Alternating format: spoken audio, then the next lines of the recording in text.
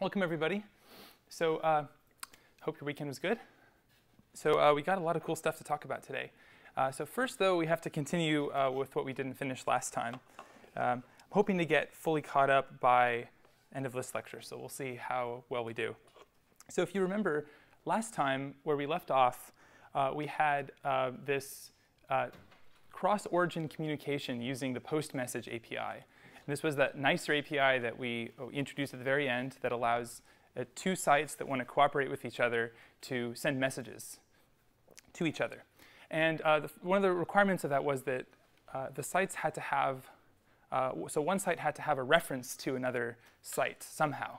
Uh, one way to do this, uh, as you can see here, is to create an iframe and then load up the site that you want to talk to in that iframe. and then you'll have a reference to that frame, and then you'll be able to use the post message API to send it a message, right? Uh, and then the, the site that you're talking to can listen for those messages using, uh, using the uh, add event listener uh, API. So uh, a realistic example of this in action would be uh, something like this. So say that you have access wanting to display the name of a logged in user, and it's going to find out that information from login.stanford.edu which is on a different origin. Uh, remember the concept of origin is, what, what is it? Who wants to remind me? Origin is the tuple. What, what's in the tuple? Protocol host import. Exactly. Yeah. So, so obviously access.stanford.edu and login.stanford.edu are separate origins. So in order to do this communication, we're going to use post message. So here's how you might do that. So you might have um, access listen for a message, and uh, it's expecting to be told the username in that message. Uh, and then it's going to embed an iframe to login.stanford.edu. And then the first thing that iframe is going to do is it's going to post a message to its parent. So the parent would be the window that included this iframe, right? So in this example, parent would be access, right? And so uh, what's going to happen is that event is going to fire, and then we're going to be, be able to read this name uh, uh, object here. So, so this is insecure, though. Uh, so does anyone know why this might be insecure?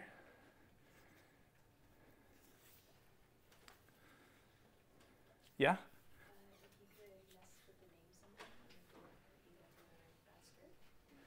mess with the so somebody can mess with this name somehow interesting yeah that's that's actually that's basically right yeah so so um, one way you could mess with this would be uh, if uh, let's say attacker.stanford.edu uh, were to embed login.stanford.edu. Now, login.stanford.edu isn't checking anything about the parent. So it's just going to post a message to the, to the page that included that, that frame and tell it the name of the currently logged in user, right? So uh, in that situation, now some random other site that we don't want to know who's logged into this uh, to, into access is going to be able to find out. Um, this can be used for, like, let's say tracking or something like that, right? So any site on the internet now can literally just embed an iframe to login.stanford.edu and find out if you're logged into your Stanford account along with your full name, right? So do we see why this is a problem? Right, okay, so, so you could imagine maybe this page should check who it's sending this data to, so it's not sending it so indiscriminately. That would be one solution to this. Uh, another, another sort of issue is potentially this page could be tricked. So access is including this frame to login.stanford.edu, and then uh, it's assuming that, uh, that a message is going to follow, and that message is going to include the name of the user. But this message actually could come from any page that has a reference to this window, right? This API literally just says a message was sent to me. It doesn't specify, at least the way that we've coded it up here, it doesn't specify where that message came from, right? So that's another issue. Um, so let's go through maybe see, uh, see, see, a scenario about how, how this could be exploited. Actually, I have a question first. Yeah. Oh, yeah, yeah, sure, sure. Uh, there we go. So say, uh, so we're going to represent uh, origins by, the, by these boxes with uh, white borders on them. So this is one origin here. We have access. And then uh, access embeds an iframe to uh, login.stanford.edu.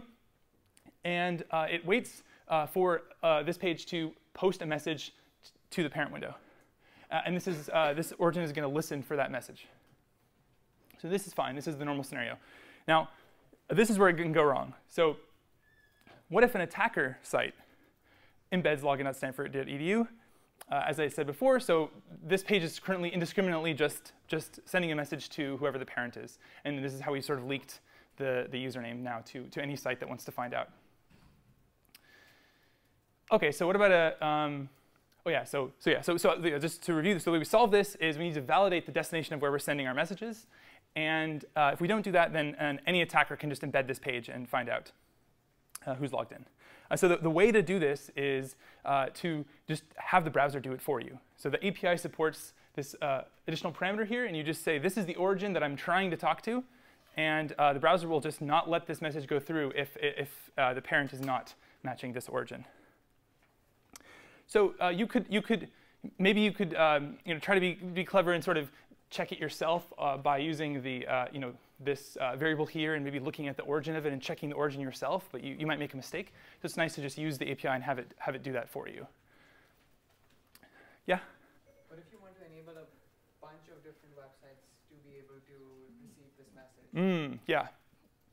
So one thing you could do is you could try to like pull off the, the page that is on the, you know, the, the parent uh, and then uh, uh, uh you know, use that uh, origin in the string here. That's one way to do it. I think another way is you can, I think you can pass an array here of multiple origins, but I'd have to double check that.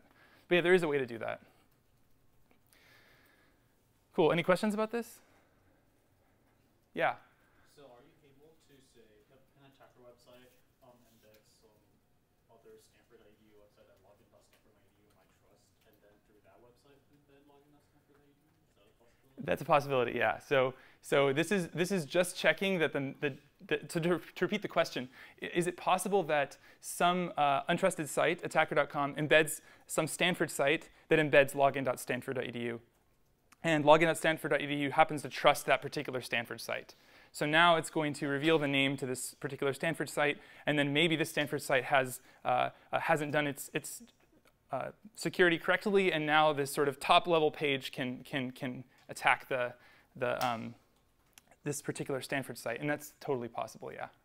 So is there like sort of like, how would like browsers slash web pages prevent?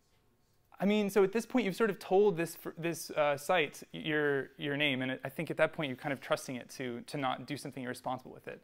Um, I, in this, I mean, in this situation, I can't think of a way that you'd solve that. I mean, uh, like if, if, you're assuming that this site is completely incompetent, right? Then in, in the worst case, it could literally just you know take the name that the login.stanford.edu you just told it and then like post it to a site somewhere, right? And uh, uh th there's nothing that, that the login page can do at that point because it's already given the information up. Yeah?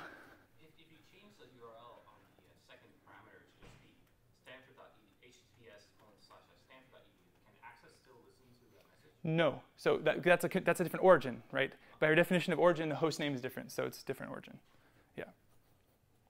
Okay, cool, I'm gonna move on. So, okay, so this is another scenario. This is sort of the opposite scenario. Um, so here we have an attacker, and the attacker is gonna embed access.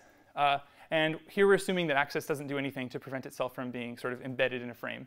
Um, and then uh, now access is going to um, uh, include login.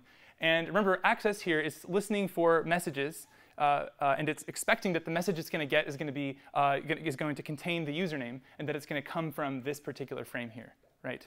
Now, its mistake is it's not, it doesn't realize that it's embedded inside of an attack site. So what's going to happen is the attack site's going to send a message uh, and you know, say that, hey, this is, this is your name. And uh, you know, login.stanford.edu might also send the, you know, the, the, the message because it doesn't realize that that's already happened. Uh, and it may be the case that, that the access site you know, just trusts the first, the first uh, one it receives and ignores future, future ones or something like this. But you can see here that you know, we're, we're accepting messages from, from, from pretty much anyone who has a reference to our window. And this is a problem because it's, it's really easy to sort of get a reference to, uh, uh, to, to a window, right? In particular, like one really, really easy way is you can just open a pop-up window. Uh, or in modern browsers, that'll actually just open up in a new tab. Uh, and if you do that, you know, the opening site has a reference to that window now and can now sort of send it these messages. So this is a problem. Any questions?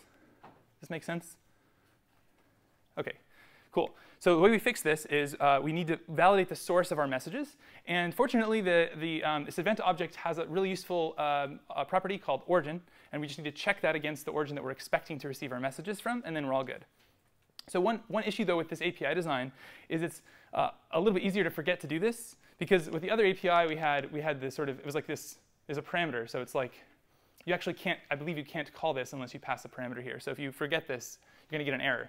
Well, whereas in this case here, it's easy to sort of forget to do this validation. Yeah, cool. So does this make sense? All right, so, so that's how we get sort of integrity from post message. The sender specifies the origin that they want to permit to receive the message.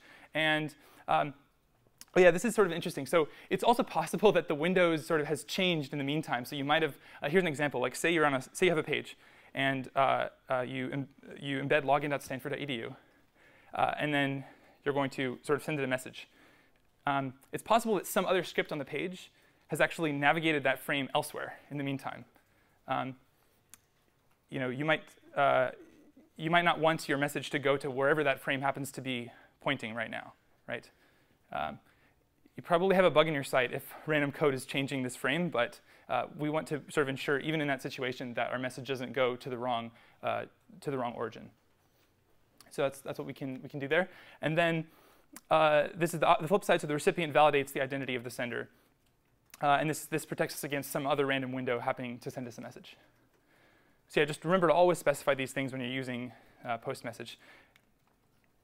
Cool, so, so we talked about all these different sort of exceptions to the same origin policy. We mentioned document.domain. We, we talked about this fragment identifier communication. Uh, and then now we've, we've talked about post message. Um, and there are uh, sort of, the, way, the thing to remember is there are these sort of automatic exceptions to the same origin policy that can bite us. Uh, so things like uh, pages can embed uh, images from other origins. Um, pages can submit forms to other origins, as we saw la uh, last time.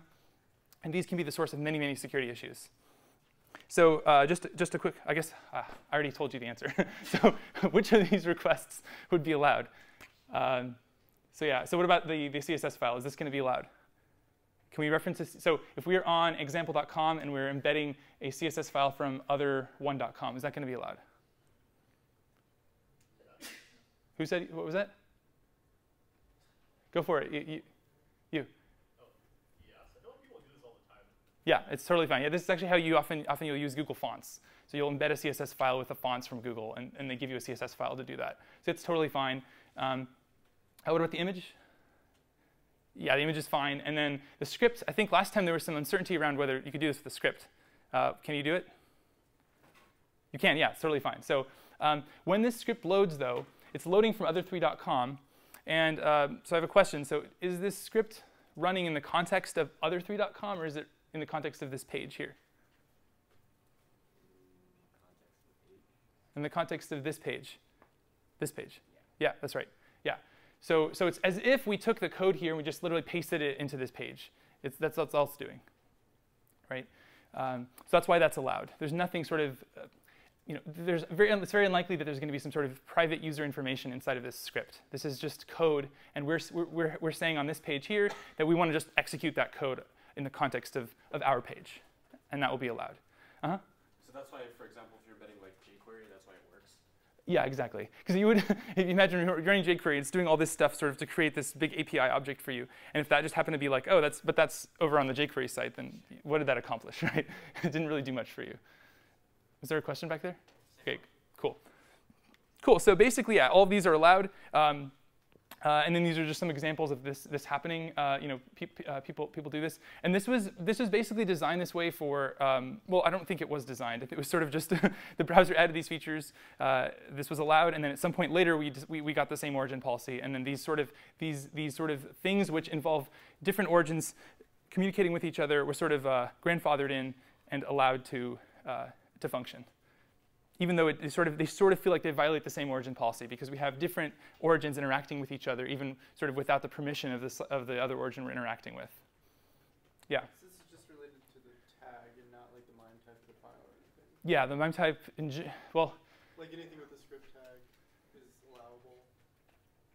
Anything with an image tag regardless of the file? That's it's basically right. Yeah, there's a there's a couple edge cases there, but I don't want to really get into it right now. Yeah, we we talk after class.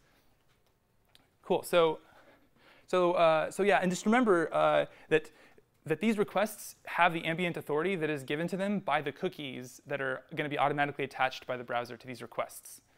Uh, so in particular, here's a really sort of uh, maybe an unexpected example. So if you're on attacker.com, you can embed uh, an image from target.com. So say this is some social network. Uh, you can, if you happen to know that the, the social network will show, um, will, will make this URL show the, the avatar of the currently logged in user, um, then you can go ahead and include this in your attack site uh, to make it seem like you know, you know who the user is, uh, which, which might make your page more convincing if you're trying to phish the user, right? So what's going to happen here is this, this request is going to have the cookies attached for target.com. And now this social network is going to get this request for this image. It's going to look and say, ah, the cookie is for this user. OK, and return that user's avatar. And that will show up in this page. Right? Yeah. So is there anything stopping like a Google phishing page from like just literally like taking Google CSS and images and just using those? Uh, the CSS of the images are totally, I mean, yeah, they can totally be directly referenced to the, to the Google, Google page. Uh, I mean, even if that wasn't possible, you could just save them and, and host them from your own page as well. So it's not really, yeah, yeah. In particular, so this, this thing here is, is maybe not that common. What you might see more, more often is this, this will be some sort of unique, this will be some sort of URL that's unique to the user. Um, and so this isn't, isn't that much of an issue in practice, but it's something to be aware of.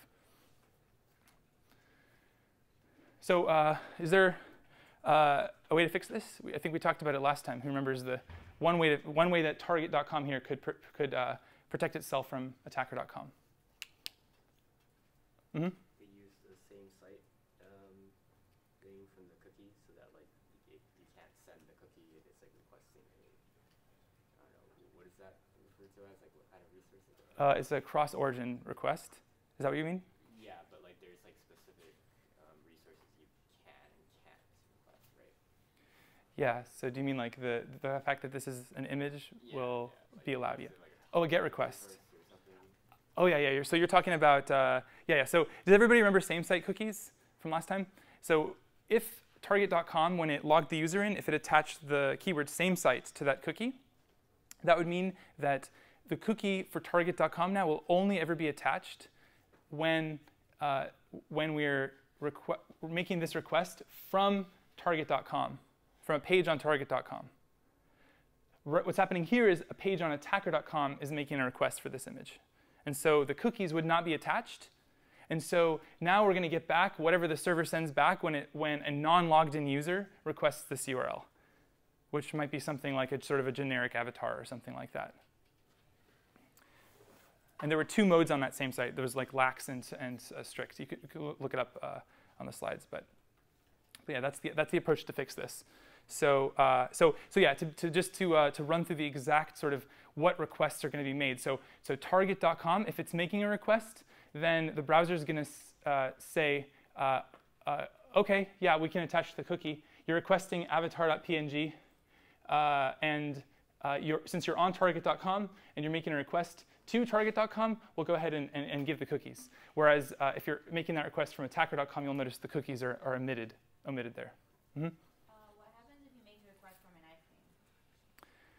From an iframe. So do you mean like you've iframed target.com and then it made the request? Oh, then I think it would be allowed. Yeah, yeah, that's right. So, you, so you, in general, you don't want your site to be iframed because lots of things become possible when you when you allow that. And I'm going to talk about how to not allow that in this uh, in this lecture a little bit later. But yeah, that's really important. Yeah. Mm -hmm. So when you say site is not iframed, does it mean like there's a way to not embed yeah, there's a way for a site to say, like, I don't want anybody to put, to put me in a frame. Uh, and we'll get to that in a sec. OK, cool. So yeah, so use same site, uh, and then we, we solve this problem. Uh, so one other idea you might have is if you notice in these requests here, there was this referrer header, right? And the referrer header is the, the, uh, the browser uh, telling this, the server, uh, this is the page that made the request for this image. it's also used when you click a link to indicate to the to the page to the, to the server that you're that you're talking to what the previous page was that you were on before. And remember, this is the misspelled header that we talked about in the very first class. So you might think, well, OK, I'm, I'm, a, I'm a server. I'm just going to like let, let the cookie be sent. I don't care. Um, I don't need to use same-site cookies because I can just look at the referrer header. And, and if I'm target.com and I see that a referrer is coming from attacker, well, then I'll just, I'll just not respond, right? Um, that seems like it would work, right? There's a problem with that. In particular, for, for this case, because we're using an avatar image, it's common that these types of images are cached by the user's browser. And um, something really bad can happen if, if the image is already cached. So I'm going to run through that, uh, and we'll see what, what could happen. So, so here we go. So let's say the so this is the client. Uh, it's going to make a request to uh, this is target.com server, uh, and we'll see here the cookie was attached. So excellent. And now the server is going to look at that and say, um, do I want to let this image load if it's being loaded from target.com? And since uh, we want to allow that, it's going to it's to you know be okay with that, and so it's going to respond with uh, the image. So far, so good, right?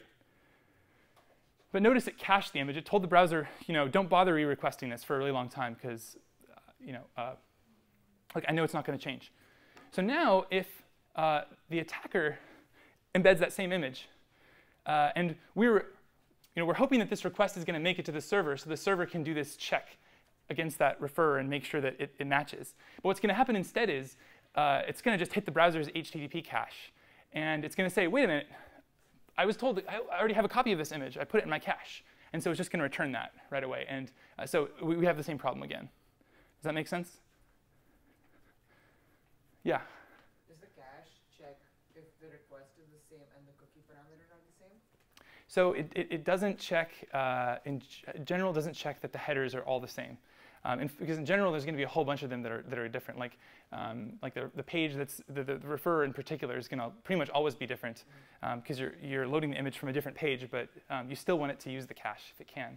Um, but do you remember there was a solution we talked about last time to, for this, or not last time, the, I think it was the first or the second class. Um, there was a header you could use uh, that would tell the browser cache, hey, when a particular header is different, then don't use the cached version. It was the, the vary header. Do you remember that? Anyway, um, so that's one solution to this. Uh, but we already have a better solution. Just use same-site cookies, and then, uh, and then you know you won't have a problem. Uh, yeah. Do any browsers ever like check the refer header so that like if it's a different origin, don't like load the cached image or? No. So I mean, if you think about the the scenario we talked about the the um, the idea of like hosting jQuery or whatever JavaScript library on a central uh, CDN server. Uh, so it, Google actually runs a server that just sort of hosts these really popular JavaScript libraries on their site. And all kinds of different sites on the internet embed that script. And so the idea, the whole reason, one of the reasons why, why, we, why uh, people want to do that is because uh, if, uh, if you're including the same script that's included on a bunch of other pages, it's likely already in that user's uh, cache. And so uh, the, the, kind of idea is like, oh yeah, they're on my site. It's a completely different site, so the refer is going to be different. But I still want to utilize the cache in that situation. Um, if, you, if, you didn't, if you didn't utilize the cache then in, in that situation, then it kind of doesn't make sense to really have a CDN anymore. Does that make sense? Yeah, cool. Cool, okay. So uh, so yeah, basically the, the refer header kind of you know can kind of work. Uh, I don't recommend this this approach is uh, you know has some problems. If you, if you if you tell the browser that you sort of the, the refer header really matters in terms of if it's caching, then it will sort of treat everything with a different refer as a different cache entry. But now you've kind of broken the ca broken uh, caching. You can also just sort of tell it to never cache the image, and then you are guaranteed that every time this request uh, is made, it's going to hit the server because there's no cache anymore, right? So that, that would make it, that would make this approach work. Um. Oh yeah, and then there's a huge, there's one other huge problem. So uh, there's a way now to, for a site to opt out of sending the refer header entirely, uh, which defeats this whole sort of refer scheme. Um, so it's funny how like these, this was actually a browser feature that was added for, for privacy reasons. So uh, uh here, here's, here's an example. So, so why would a site want to want to make it? Why would a site want to not send the refer header to all of its uh, to all of its sub resources and all to all of its uh, sites that are clicked on, where links are clicked from a page. Can we think of a reason?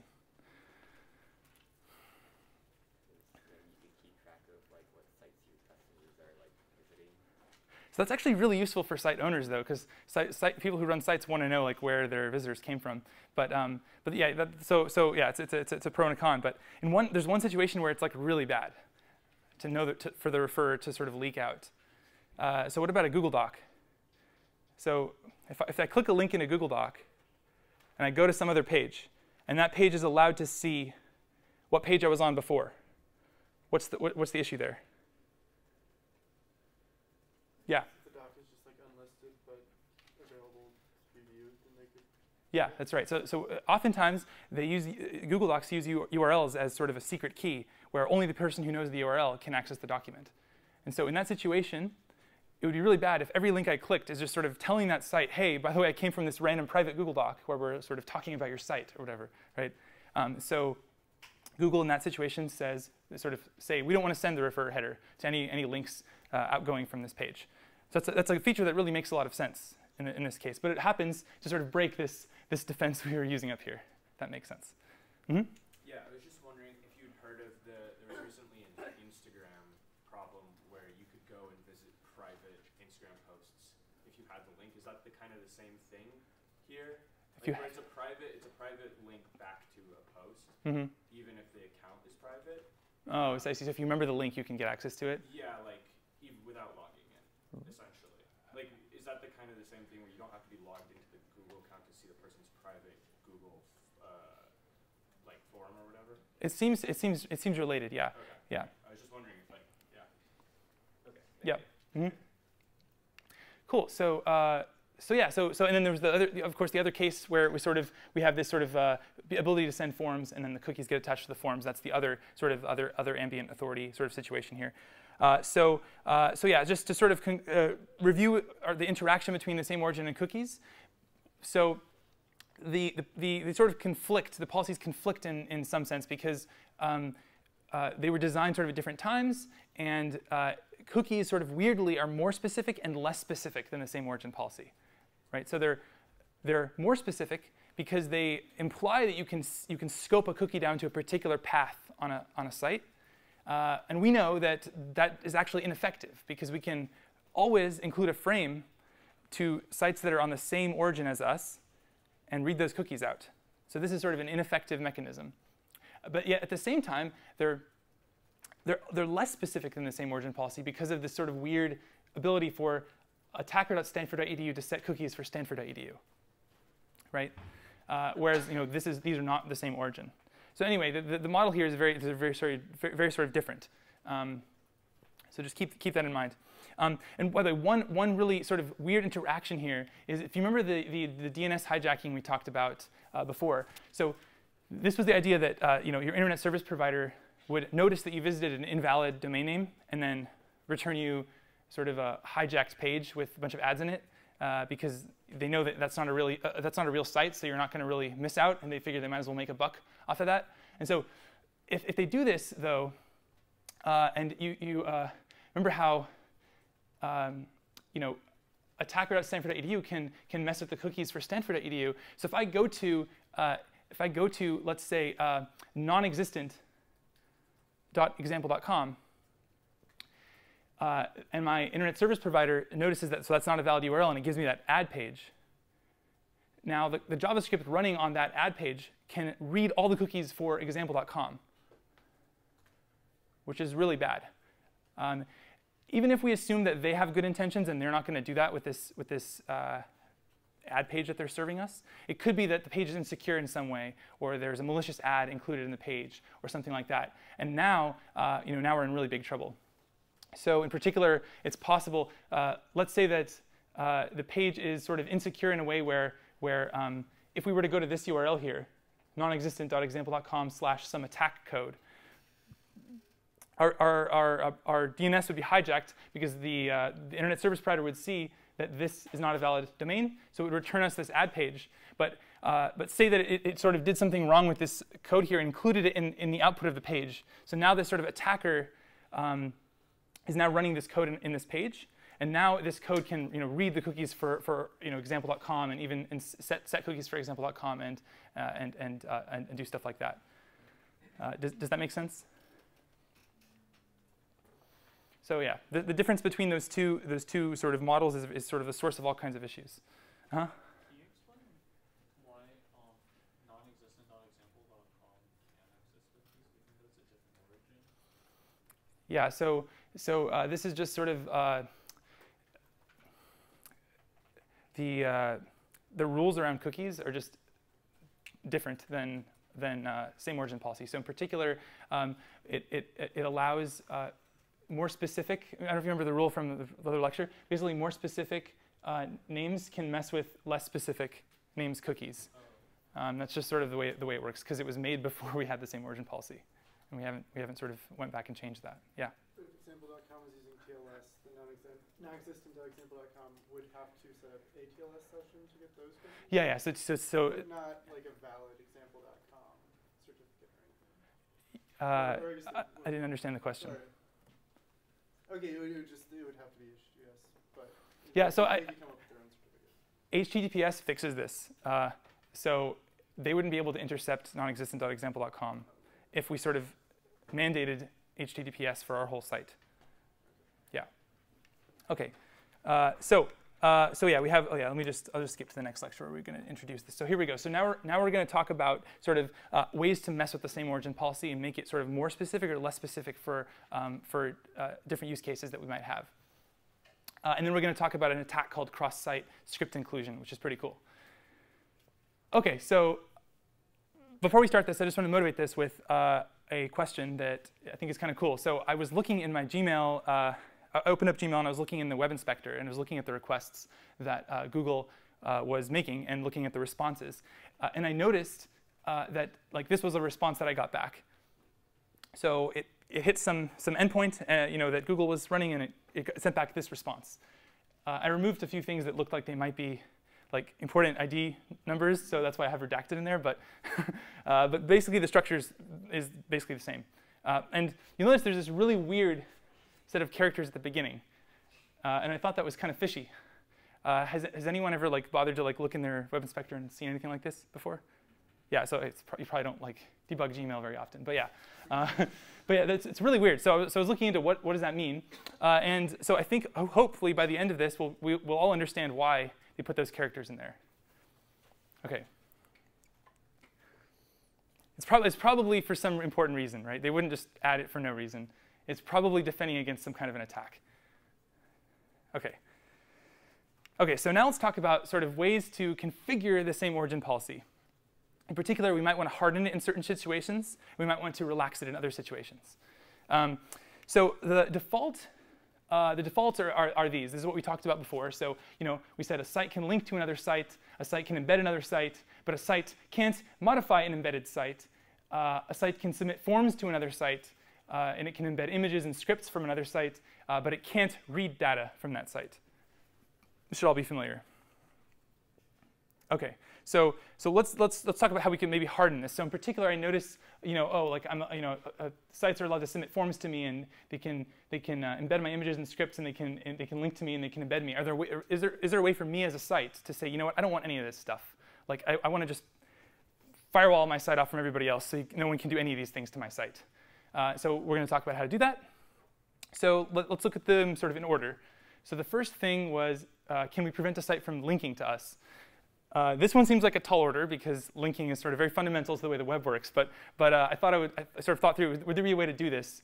Um, and and uh, here's what I came up with. So, well, first, why would we, why might we want to do this? Um, so one, one reason is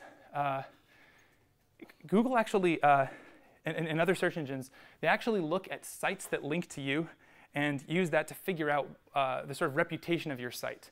Uh, it's a little weird because you know anyone can link to you, and it's not really your fault if a sketchy site links to you. Um, uh, so if you Google around and you, you, search, you know, how do I prevent a site from linking to me? You'll find often it's people who are uh, who are penalized by Google in some way, and they're like, how do I prevent all these sketchy sites from linking to me? Google thinks I'm sketchy because of that. Um, and uh, the sad sort of answer to them is you can't really prevent somebody else from making a link to you. Um, you just can't. Uh, there were sort of other models for how the web might work that involved sort of uh, uh, two-way links with integrity, where this sort of site you're linking to had to sort of almost like uh, agree, and, we, and it was sort of confirmation that that, that that link existed. But that's not the web that we have today, and uh, and so yeah, there's, there's there's no sort of no answer for these people. Um, but, but maybe there's a way to make it so that when somebody clicks a link to our site, we can sort of return an error page or something, or, or, or send them away, redirect them elsewhere, so they can't they, they can't load our page up. Um, may, maybe maybe someone's linking to us and uh, and smack talking us, and we want to sort of uh, and, they're, and they're linking to particular blog posts of ours, and we want to sort of uh, just just make those look like they're 404s when the person comes comes from from that link, right? Um, that, I don't know. Just trying to think of why, why, why one might want to do this. so so how might we accomplish this? Um, so yeah, we can't, we can't actually prevent the link itself, uh, but we, we, might be able to, to, reject the request when we get it. Um, so does anyone have ideas? The refer, yeah, exactly. It's just, it's just what we mentioned before. Look at the refer. So this is what the request to load our homepage is going to look like. And if we see maybe, you know, ah, a competitor wrote a blog post about us, uh, you know, we want to we want to sort of uh, give them a different page. We can do that, right? Um, and um, the thing we have to watch out for is that, is that header I mentioned before, though, where the, co the competitor can specify that they don't want the refer to actually get sent. Uh, and, uh, and, you know, this was very useful for the Google Docs case, but in this case, you know, it would, it would foil our plans. Um, so in, in, particular, there's, the, there's a few different values you can set for, for uh, refer policy. Um, the, the default used to be this. It used to be uh, unsafe URL, which, which is sort of, it just sort of sends the full URL of the, of the page uh, that, that, that, that uh, had the link in it to, to, the, to the site that was linked to. Um, but, but now um, we actually have a different default, which is this one, which is um, in particular, it's basically the same. The difference is uh, if you have a secure site linking to an insecure site, um, we don't want, so, so, so the, the, insecure request here, this HTTP request, is going to be visible to everybody sort of on the same network, right? So that everybody in the Starbucks, the same Starbucks as you can see, see that request. Every, you know, your ISP can see that request. The NSA can see that request. And so in particular, we don't want to reveal the particular page you were on on the HTTPS site um, we don't want to tell the HTTP server, you know, hey, we were on this page over here, uh, and because because now we're not only telling this site, we're telling sort of everybody on the network that particular information. So so when that downgrade happens, we just don't send a referrer, and that's the new default. Um, but uh, but there's these other options. You you could say, you know, just never send it. I, I don't care. I don't want it to go out. Um, you might say, you know what, I, I, I don't I don't care if the site knows that, you know. Uh, so, so, maybe our competitor wants us to know that they, that they linked to us, but they don't want to let us know the particular blog post that the, that the person was reading um, when, they, when they clicked the link. And so they could just, just send us their origin to let us know, you know that they're, they're talking about us somewhere, but we just don't know what page of their website they're talking about us on. Um, do these, these values kind of make sense? Yeah?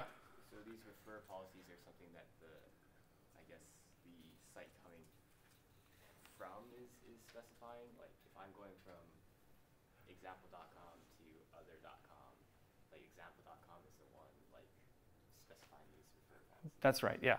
So it's, it's a, this policy is specified by the site that has the links in it. Uh, and when the links are clicked, this policy is what takes effect uh, and affects the requests that sort of, the requests that are generated by the clicks on the links. That affects the refer header in those requests from the links. So the way to think about this is, is Google, Google Docs would set this policy to, to uh, probably to this. I should have looked at what they actually set it to if somebody wants to inspect Google Docs and see what their, what their refer policy is. But basically, when you would go to load the Google Docs page, they would send you back this header. And now, anytime you click on a link from Google Docs, those links, the servers that are at the end of those links are just going to get the origin. They're going to know somebody from Google Docs linked, some Google Doc linked to us, but they're not going to know the particular doc that did it, right? Because it's not going to contain the path. Does that make sense? Yeah. Oh, just set it to something random? Yeah. Like. Hmm. Well, if the user is clicking a link, because uh, you're the one sending the request. Mm-mm. So when the user clicks a link, the browser, the URL bar sort of changes to the destination of that link, and it's the browser that's sending that request. Yeah. So, so the so the, the sort of the, the site that contained the link needs to tell the browser, hey, when you actually send that request, when the user clicks on a link, make sure to set the refer as I specify as the, as the Google Docs site specifies. Oh, okay. Otherwise, it'll just like... It'll just include it, helpfully. Yeah. Yeah. And when we use downgrade here, we just mean that like the protocol in the like link tag is HTTP and we're on HTTPS site, yeah. not like a TLS downgrade. No, yeah, yeah, no, no, no. it's much simpler than that. Yeah, it's just a secure site linked to an insecure site. Yeah. Okay. And there's a few other values which are even getting more sort of complicated. Um, uh, let's see, what, what's worth mentioning here? Um, these, are, these are just, uh, so, so the, the, reason why these ones exist is because if you notice here, you know, say that I don't want to leak the sort of full URL. Um, so I have a site um, and I don't want to, here's an example, Google Docs, again. So Google Docs doesn't want to link, link uh, leak the full path uh, to, a, to a doc, and so they use this header. But now, if, if, if the user clicks on any links that are from Google Docs to Google Docs, let's say they click the privacy policy link or they click the, some other link to another page of Google Docs. Now, even Google itself now is not getting the refer header. So they can't learn sort of how users are flowing through their site. And so there's options where you can say, you know what, uh, uh, you know, let's see, send, send the full URL when we're on the same origin, but, but send nothing to other origins and things like that. There's sort of these different trade-offs you can make. OK. Um, this isn't that important. You can look at it when you're, when, if you ever need to use it. So yeah, anyway, to, to summarize, it seems pretty hard to prevent linking. Um, uh, let me know if you figure out how to do it, but, um, but the best you can do is sort of look at the referrer and try to be, try, try to be naughty and do different things when you see, when you see a different referrer, but you really can't uh, rely on that. Uh -huh. This one you think they're going to use? Oh, that is what they use. OK, so what is that one doing? Let's see. So they're saying that they want the full URL, obviously, so they can, they can track how you're using Google Docs. And then they want cross-origin sites to see just that you came from Google Docs. That makes sense.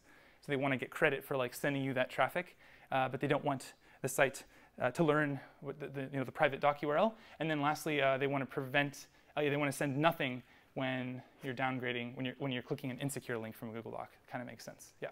Cool. Thanks for, thanks for looking that up. Yeah, that makes sense. But that's quite a mouthful for a, for a policy. OK, so, so now let's think, is there a way to, pre to prevent embedding our site? So all kinds of really nasty attacks can happen if someone can embed your site. Um, uh, in, in, particular, um, uh, we mentioned clickjacking attacks. So that's one kind of attack. Um, I, I, don't think I've actually shown. Uh, no, no, I did show. I did show the one that I, the, the one I found when I was a student in, the, in, in this class. But um, to remind you all, this is clickjacking. So, so we're on a, we're on a sort of attacker site here, and uh, what's going on here is this, this, this attack site, example.com, in this situation, is embedding uh, an iframe to eBay. And uh, it's allowed to sort of shift this frame around however it wants using CSS, right? Uh, and so it's, it's decided to shift it off the page a little bit. Um, but it knows the layout of, of, eBay, and it knows the sort of size of the box that it's selected. So it can predict exactly where this um, bid button is going to be, or, or, I guess it says buy now. So it can predict exactly where the buy now button is. And, um, and then it can make sure to put um, its own button a, like, right in the same position. And, um, but in particular, what's going on here is that the frame here, this invisible, this sort of transparent or translucent frame is actually on top of this button. Uh, but its opacity is going to be set to zero. So it's going to be invisible, but it's actually on top. And so the user is going to see the green button, but when they click, they're actually going to be clicking the blue buy now button on eBay. Does that make sense? So yeah, this is, uh, this is uh, one, one type of attack you can do with clickjacking. It's uh, pretty bad. Um, so, so, so, when the user clicks, the, the one on top is the frame, right? Yeah. So the frame registers the click first. Yeah.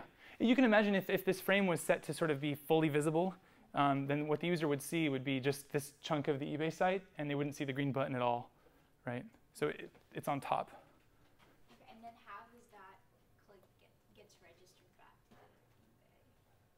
Well, um, I mean, it's the user is literally clicking like in the in the frame. So, uh, I mean, it's they're just literally just clicking on the button on eBay. But the weird thing is that they see what they actually see is the is the is the, they see the attacker's site. Does that make sense? So what, what I didn't understand is when a user clicks, since the attacker's like window is in front. Uh, no, no, not the attacker's window is not in front. Okay. Yeah. So the pictures kind of looks. Oh yeah, it makes it look like this browser window is like the one that's on top. Uh, but yeah, no, the, the, actually the way they should have drawn it is this eBay site is actually on top. Um, yeah, it's, it's, it's, but it's, uh, yeah, this, this actually, now that I, am looking at it, it is kind of, this look kind of misleading. Yeah, so if you were to look at the sort of layering here, the eBay site's on top, then the button is, is behind. Okay, and then how do you see the button? We, oh, how do we see the green button, the one that's behind? Well, we, we make the iframe uh, uh, sort of tra transparent with a CSS uh, property. So you can make items, you can adjust sort of how uh, opaque they are. And by default, everything is sort of fully opaque. So it's sort of, you see it right away. But you can make the op opacity of it zero. And then it's invisible, but it's actually still there. Okay, yeah, yeah. I could just, we, I don't have a demo of it, but I, I, could just show you really quickly after class in my browser. It's, it's, uh, does everybody else, does, everybody make, does that make sense to everybody? If, if it doesn't, ask more questions. Yeah. So this would only work if, or I guess this attack would only be successful if the user or, the victim is already logged into eBay and has your credit card information stored. Yes, yes, yeah. So they have to sort of all be, all, all, all be, be in the perfect state for us to sort of get, like, what's going to happen is whatever would have happened if they had clicked that button normally. Um, so if they weren't logged in, then yeah, they're just going to get the login form popping up or whatever. Yeah. hmm Would this only work over HTTP? Uh, no, so this would work fine over HTTPS, yeah. Um, uh, so the, the, main, the main issue here is that this site is sort of allowing itself to get framed. Um, it's not that, you know, th th if, if this site was secure, you know, and this site was secure, it, it, the same thing would, would work. It would be exactly the same, yeah. Um, but, but there is one, one thing that would prevent this. The same site cookies, again, would prevent this, right? Because if we use same site cookies, then this uh, request to eBay would be sent without the cookies, and we would be sort of logged out of eBay. And that, that click wouldn't really do anything. Yeah, so same site cookies are really, really useful. Hmm? If somebody needed to click twice, like there's a confirm payment button on the next thing, does the attacker actually get like, does the click event just disappear into the eBay frame? So- they don't actually, their site doesn't actually know that the user has clicked. That's a good question. So the, que the question was, so when the user actually does this click, since, since I said that, that, that the eBay frame is actually the one that's on top, that click is going to the eBay site, right? So our button that's behind doesn't actually get clicked on. So is there some way for, for this page, the attacker page, to know that the attack was successful? Um, because like as far as they, they can tell, like there's this there's this eBay frame and the user actually there's no way for them to know the user did something in the frame as far as as far as I'm aware. Um, I tried like I, I tried to figure out how to do that for a while when I was do, doing this and uh, I couldn't figure it out. do, do you, do you have the, the URL of the frame? Like if it navigates again? Uh, that's a good that's a good question. Which might not do, but. Do you have the URL? Of, I know you can change the URL of the frame. I don't believe you can read the URL of the frame. Yeah, Since that would just like a DOM attribute though. we, we can test it. Yeah, I think you can't actually read the URL because that would reveal. We, we should test it. Yeah, we should test it. Yeah. But wouldn't you still send cookies with the eBay request because you're in a separate iframe, so you're on eBay origin? Um, oh, are you saying if we use same site cookies, would wouldn't? It's still if like the policy is lax, then it's still sent. So uh, if you say same site equals lax on the cookies, then uh, I, I, I believe that this frame is going to be treated as a sub-resource request because we're not actually at the top level in sort of in the URL bar. We're not on eBay. We're on this other site. And so uh, like the policy of same site is going to say um, which site actually sent us this request for this frame, and it's going to be this site, not, not eBay that did it. Yeah. Mhm. I, I just looked it up. You can only read the URL if it's from the same domain. Yeah, okay. That's what I thought. Is it domain or it should be origin? Same origin. It says probably origin. Okay, they, they just said domain. Okay. different. Yeah, okay. Cool. So this is a really fun attack. Like if a site does, if a site allows itself to be framed, then it, I mean, you can just do all kinds of things. Oh yeah, there was a really, there was a really, uh, there, there was a lot of uh, stuff going around with Facebook like buttons where people would people would make like clickbait sites that say, you know, click here to see this crazy video. Uh, and then what they did was, um, you know, they had like the, the, the play button. They would hover a like button directly over the, the play button. So, and uh, this was at a time when liking something on Facebook would create like a newsfeed entry saying, you know, Feross liked whatever viral video. And then everybody would be like, everybody would click that to go see what it was. And then they would try to click the video and it would just, it was sort of like a virus that just spread across all of, all of Facebook.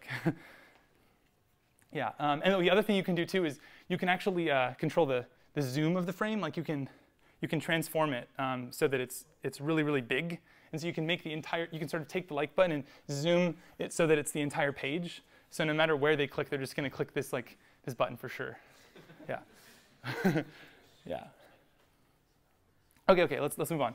So yeah, so can we, can we prevent this? Uh, uh, and you know, we would want to do this to prevent clickjacking attacks.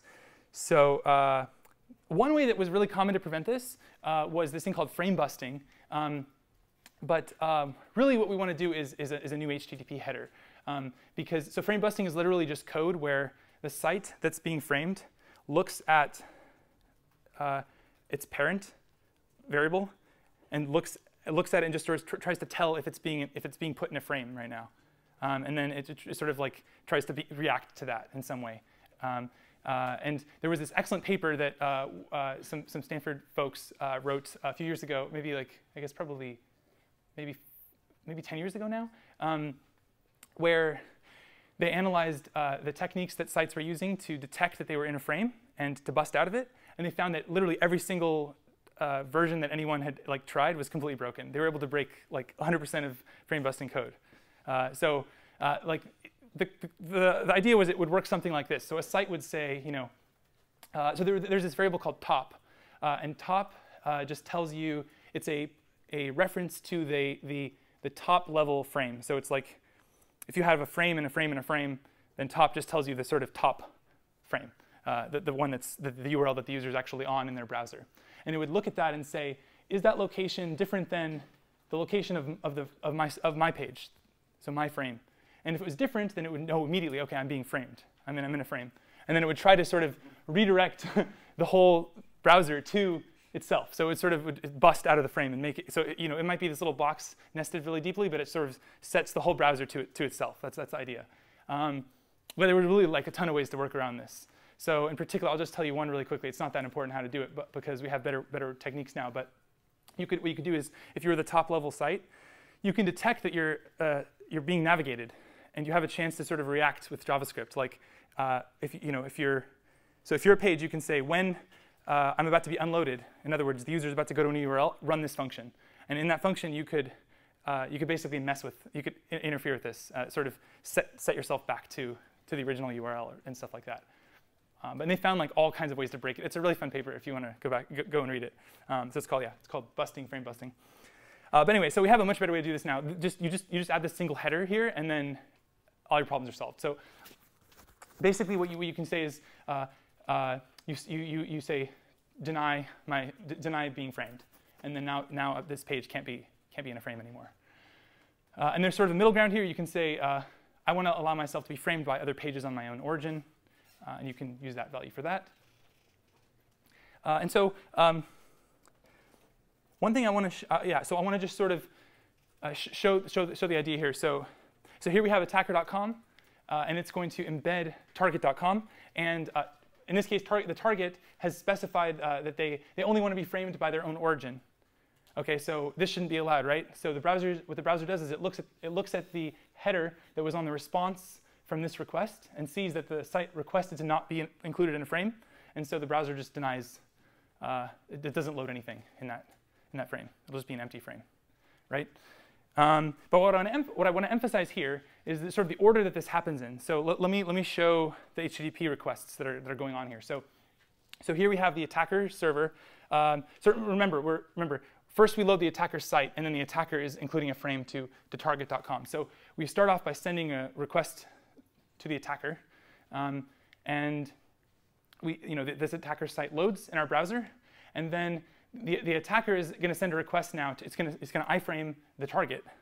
Um, so a request gets sent to the target, um, and now this is where the defense happens. So the server, in this situation, the server, it doesn't even know necessarily where this request is coming from. Like I didn't put the referrer header in here. We're not using that. The, the server is just going to say sort of blanket, I never want to be framed. So the way it does that is in the response that it sends, it says, you know, only allow my, my same origin to put me in a frame. And it just always includes that in its responses. Um, but you'll notice here, like the, the attack page was able to send this request to the target server. It wasn't blocked. Um, and we actually sent back a response uh, with, you know, with our like button or whatever inside. And we're relying on the browser to read this header and to do the right thing. So that the browser is, is going to analyze this here, and it's going to say, you know, is, is, is, this, is this, should this be allowed? Uh, and, and in this case, it's going to say no because uh, this, this would appear in a frame inside of attacker.com, so no. Okay, and then, and then uh, you know, that, that response gets discarded. Does that make sense? Yeah. So is it risky to uh, rely on the browser against it? because, I mean, can't whoever made attacker.com also have their own scrappy browser that Oh, I see. So yeah, with all these attacks, like the, the, the, thing we're trying to protect against is a legitimate user who's using like a legitimate non-hacked browser who is logged into a, a you know, um, in the example I gave before, they're logged into Facebook and now they're going to attacker.com. And we want that browser to ensure that they can't that, that the like button can't be clickjacked and cause them to send invalid requests to Facebook.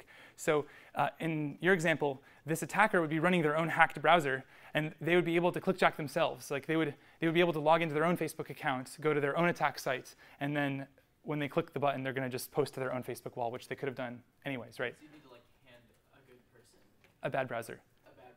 Yeah, exactly. Yeah, and in general, like we can't we can't remember. Um, I think I mentioned this before. You know, we can't trust the client at all here. So I mean, this client, you know, this this is like what you suggested is this could be like a hacked browser. This could be more than a hacked browser. This could be literally any script that anybody writes, right? Um, so so yeah, our server has to be safe against sort of anything here. Um, um, but but yeah, all the things we're talking about here are are sort of trying to defend against state that's in the client that is state for like sort of other pages that we don't want to get uh, accessed by other origins. If that makes sense.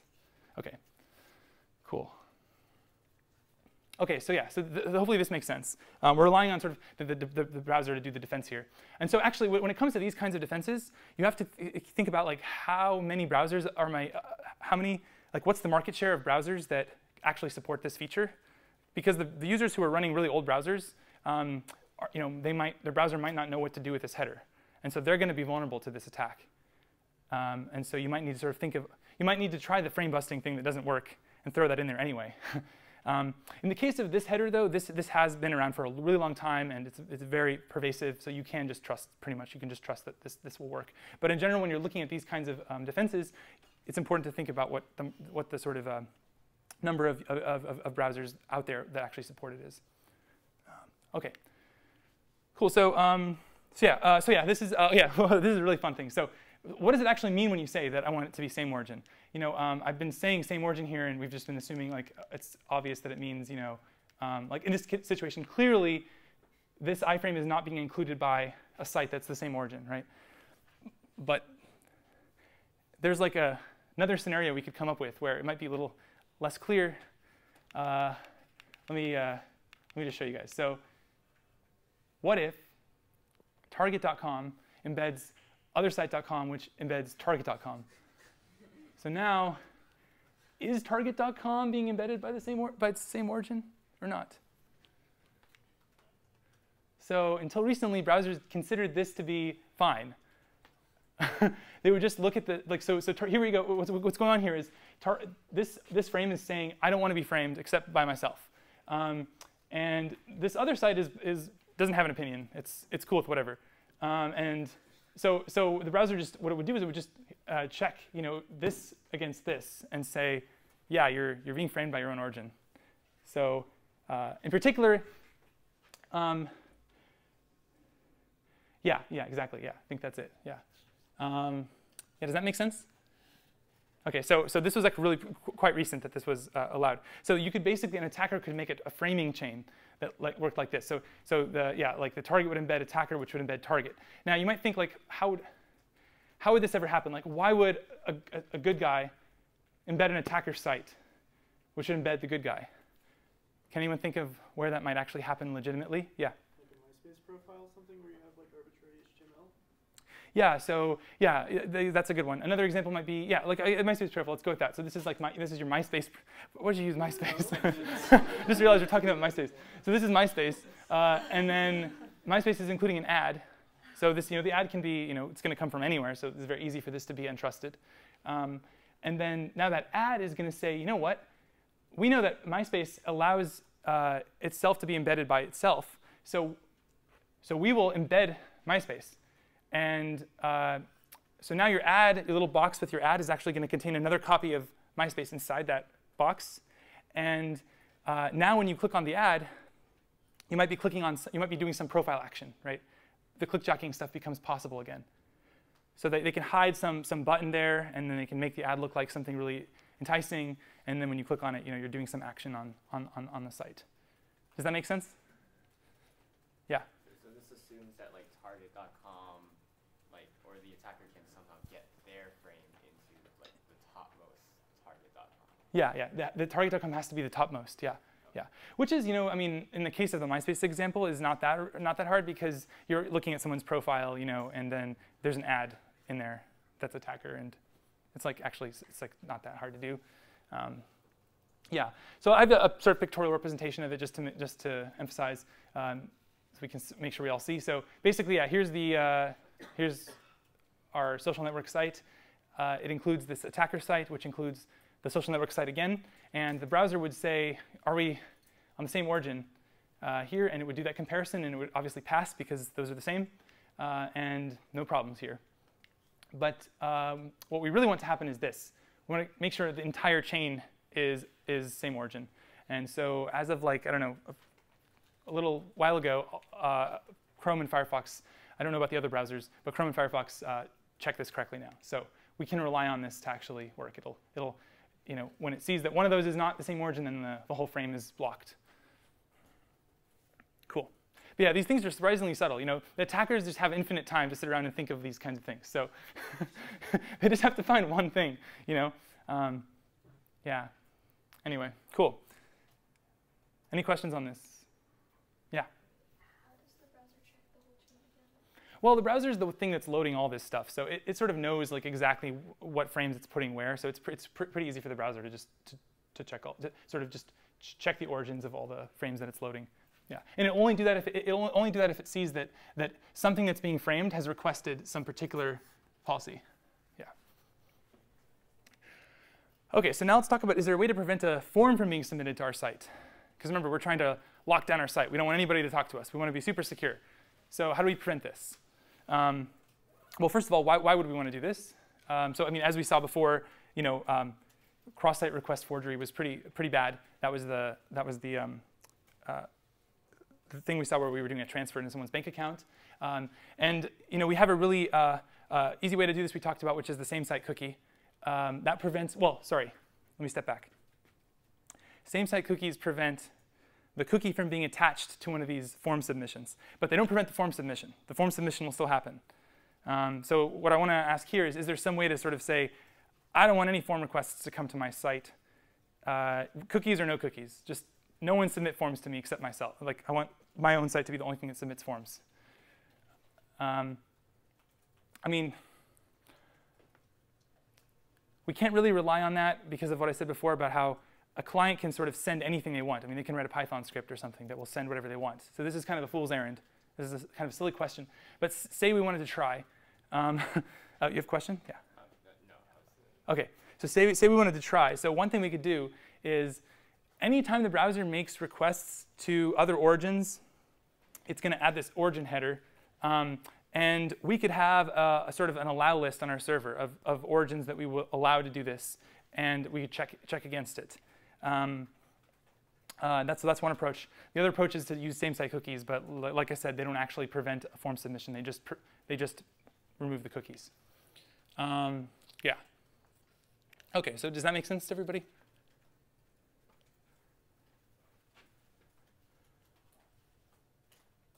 OK, cool. So what if we want to prevent embedding images? So maybe our images are, are quite big and uh, some you know, say, say we have a, what's a, what's a 90, since you're using MySpace, can we think of other like 90s or 2000s examples? Say you're on some, uh, one of those uh, flash animation sites or something, or those Neopets. Neopets, yeah. And so some other Neopets, so, so somebody made a Neopets competitor, uh, and uh, they are stealing all of our bandwidth because they, instead of making their own pets, they're using all the pet pictures on our official Neopets site. And so the Neopets company now wants to prevent those, uh, those images that are being embedded from loading. Um, so that's called hot linking, when another site links to your images and steals all your bandwidth. Um, uh, because now you're paying for all those, those, uh, those requests. So uh, yeah, and then another, another case where we might want to do this is that example from before where, where we, were, um, we were showing a logged in avatar fr from one site on another site. So uh, one thing we can do is uh, look at the refer header uh, and you know, try to, try to respond to that like I mentioned before, but this is not foolproof because that can be manipulated by the attacker. Uh, and then, you know, same site cookies was the thing that solved the, the avatar uh, situation. So that would just sort of, that wouldn't prevent the request, but it would show the sort of uh, the, the logged out image instead. Um, yeah. But yeah, basically the answer here is like you, you can try to sort of do something clever by looking at this header, but you, you, you can't rely on it. That's the, that's the answer. Um, Another option for the avatar situation would be to sort of use an unguessable URL or something unpredictable. Yeah? Yeah, yeah. So I, I realize that's a little confusing. Yeah. So I mentioned use origin before. Um, so there's the rules when this gets sent are a little bit more complicated than what I said. This header gets added when the request is considered a CORS request.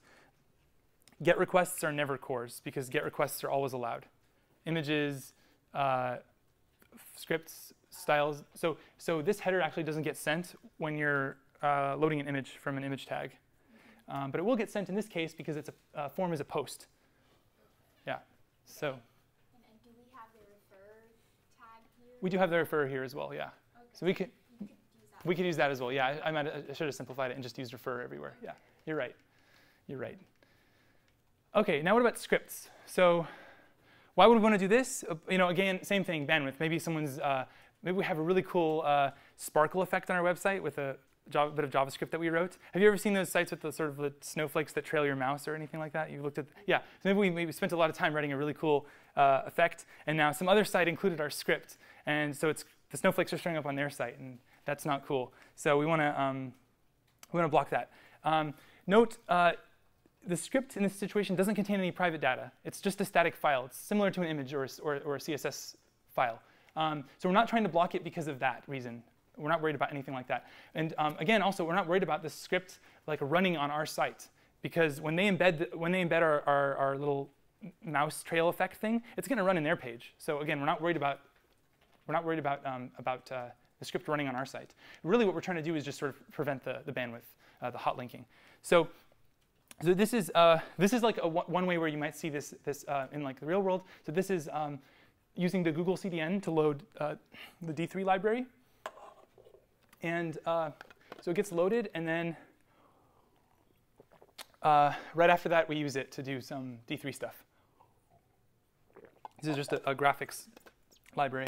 Um, so anyway, so that's that's the, the way we might use it. So can we actually prevent this? Um, so uh, again, it's the, the refer header approach. We can try to do that, but it's not gonna it's not gonna be that reliable. Okay. So yeah, so if we review uh, our set of our set of things that we wanted to, uh, you know, uh, ways we wanted to change the same origin policy. So is a site allowed to link to another site? Yes. Uh, we can try to mess with it, but not really. It's not foolproof. Uh, can site A embed site B? Uh, by default, yes.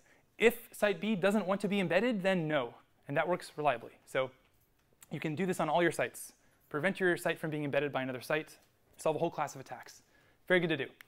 Okay, uh, can, can site A embed site B and modify its contents? Well, uh, we've been talking about ways to strengthen the same origin policy, and this is already quite a strong policy, uh, so that's still no. And actually, there's no way to relax this either. So a site that embeds, uh, embeds another site can't, can't reach into its DOM and modify it. Um, so can a site submit a form to us? Uh, you can prevent that with uh, um, by looking at the origin header, and that works quite reliably. If you want some middle ground here where you want to say, I want forms to be submitted to me, that's fine, but I don't want the cookies to get attached, then you can use same site cookies. Uh, and then with images and scripts, we have this, again, this sort of, this is basically allowed by default. You can try to mess with it, but it's not going to be foolproof. So you can try to strengthen that, but it's not really going to work. And then lastly, um, the, the um, can site A read data from site B? And we said the answer was no here, but, um, but now we're going to talk about ways where you might want to allow this. Um, so, but yeah, you can see here, you can turn some of these into no's, um, and then um, there's no way to turn this one to a yes. Um, and uh, this you might want to turn into a yes if you're trying to collaborate intentionally with another site. So we're going to talk about that now. Um, but before we move on, any questions about this? Yeah? Is there uh, no way for a site to prevent sending the origin header in case? Yeah, yeah. So, so uh, uh, uh, a site that's making a request to another origin uh, can't manipulate the origin header. The browser ensures uh, that's like because that's used to make security decisions by the site that's receiving that request. The browser will set the origin header based on whichever origin initiated that. You can trust you can trust that the user won't be able to the attack site won't be able to manipulate that in any way. Yeah. Okay, cool. So let's talk about how to relax the policy. So um, here's uh, so here's here this is that last point there. So can can site A read data from site B? And we said no. Um, and remember the reason why was because we were worried about this. This is the thing we don't want that the browser doesn't want to allow to happen. So for example, you can't be on my site, my blog, and I you know I and you might be logged into Axess in another tab. We don't want to allow my blog to make a request to Axess for your transcript uh, and uh, you know, pull that out as, a, as, a, as, a, as, as an array, basically, and read, uh, read the data that's in that PDF, right? Th this would be bad. Um, yeah, so note that, so what's going on here is that uh, this is like me getting the data in a variable, so I can literally like read, read it in, in detail. This is different than, um, you know, say, say that, uh, okay, say that this was actually like a, like a GIF or something. Your transcript was a GIF. Um, my site uh, could put that into an image, and that would show up, assuming that the site didn't take other measures to prevent that. Does that make sense? So, so it's fine to include data in your page, but to actually read the bytes out of it is a different thing. That's a much more intense thing. All right. Um, does that make sense? sort of a separate category of things. So that's what we mean when we say read data. We mean literally read the bytes of a response. Okay. Cool. So, so this is what's not allowed, but say we want to allow something like this. Um, in particular, here's a use case. So what if, uh, well, okay, okay, so actually, so there's, there is a way to do this that we talked about. We can post message, right? So I can, I can embed an iframe of a page that that's cooperating with me, and I can post message to it. And then it can post message back to me, and we can communicate that way. Um, but uh, what, if, um, what if I want to read data that isn't being generated by this page, but rather it's um, sort of an arbitrary response from a server? Like uh, in particular, say that there's an API server. This is similar to what you did in the assignment zero, where that server just returns a JSON object with some information that I'm interested in. And I would like to make a request to that uh, URL and get back this JSON object and, and do something with it. This, it, it wouldn't be possible to use post message to do that. Does that make sense? Because there's no page here that we can be sort of post messaging to that's responding to us and giving us the date or something like that. There's no HTML response here. This is just a JSON object, right? Any, any questions? But does people do people not? If you don't understand that, ask a question, please. Okay, so basically this could be our server code, something like this. We have a, an endpoint API, you know, slash API slash date, and we're just going to send back this JSON object. This is what it looks like. Not too magical. Um, and so now we want to enable this. We want site A to be able to, uh, and you know, this, this date API is hosted on site B. So site A wants to make a fetch request to site B this basically sends a get a HTTP GET request, and we want to read the data out and just console log it. So by default, that would be denied because they're different origins. We need some way for site B to say, really, this is OK. I don't mind. Um, so so um, you might think we could just you know, maybe add an HTTP header to this, like we did uh, before.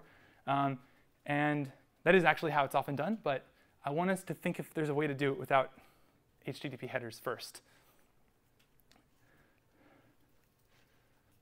Yeah. Is this like where API keys come in? Uh, no, it's sort of a more fundamental problem. Like, in this case, there's not even an API key involved at all. Like, the data's there. You know, if you if you visited this URL in your browser, you would see that you'd see this time get shown to you, right? So um, the issue is site A can't initiate that request and get the, the data out. We actually want to sort of open it up, not lock it down with an API key. Yeah.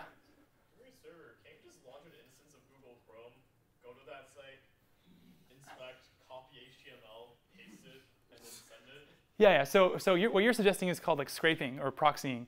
Yes. You know, if you want, like, if your site uh, A and you know that site B is, is, has this beautiful API that gives you the time, site A could literally on their server side, you know, make that request, like you said, get the answer, and then provide it directly to their users from a site A URL, and then it would be allowed. Yes, that's correct. Yeah.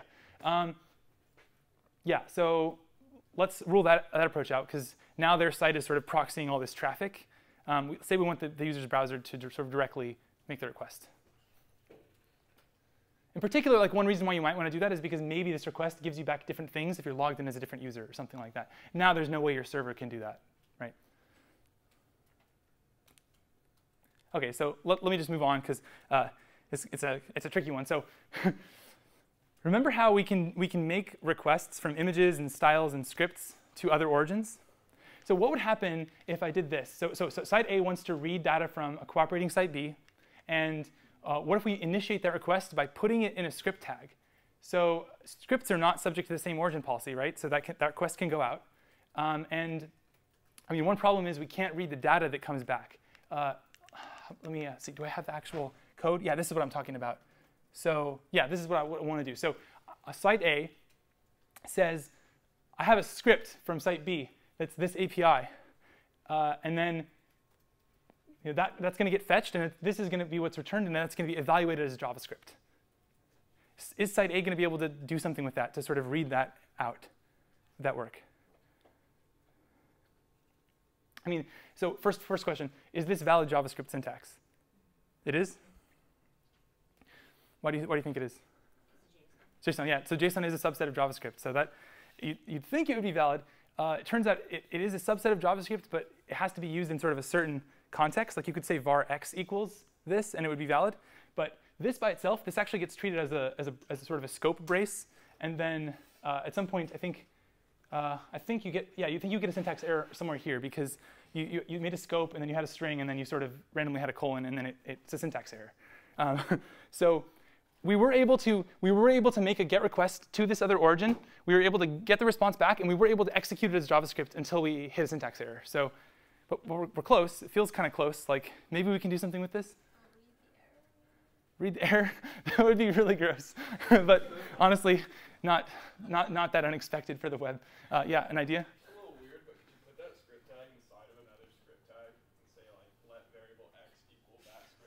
Oh, I see. To sort of try to augment the script. Yeah, I don't think there's a way to do that, but that's a good idea. good, good, good, good thinking. Um, but yeah, so the core problem here is that, I mean, basically we, we, we can't read we can't read what script is executing. All we can do is sort of execute the script and then observe the results, right? Um, so, so yeah, so first problem is it's not valid JavaScript. Uh, and second problem is like, yeah, we can't access the data at all. So there's this thing called JSONP, which is a, is a clever hack around this problem. So the idea is, what if we get the server to cooperate with us a little bit here? So what if we could tell the server when we make the request, hey, um, wrap the JSON in a function called whatever I want to wrap it in.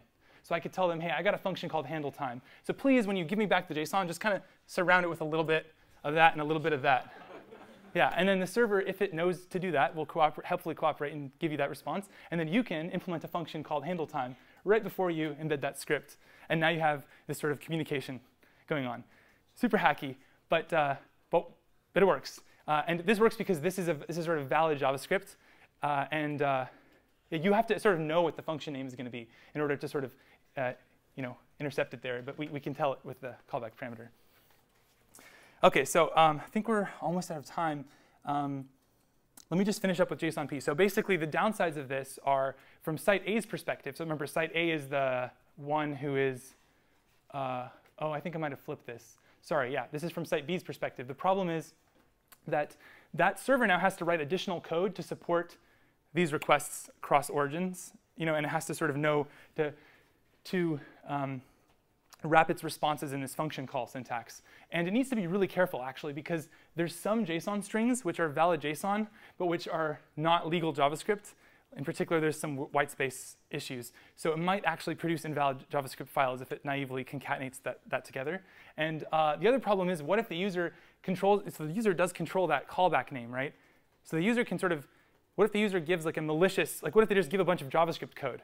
or something. Now that code is all going to get included automatically into that response. Uh, it's called injection, and we're going to talk about that next time. Uh, or, yeah, I think next time. Uh, and uh, yeah, so that, there's, there's, there's an attack called the reflected file download attack that, that was, uh, um, which, which can be caused by not sort of sanitizing that callback uh, argument. And then the problem from the other site's perspective is they were just trying to fetch a, a bit of data from another origin and do something with it. Uh, but in order to enable that, they literally had to include a script from that other site, which enables that site, like say the server gets hacked, and that it starts returning completely different code that doesn't follow this format here. Now this site has sort of remote execution on this site here. So really, we wanted a way to just sort of ask for a bit of data from this other site, and in, in, order to do it, we had to give it full execution access to our whole site. It's kind of a bad idea. uh, you want to limit that a little bit more than that. So that's pretty scary. Um, so anyway, next time we will, we will conclude with sort of um, uh, way, to, way to do that, and then um, we'll, we'll talk about the cross-site inclusion attack, which is really cool. Cool, thanks.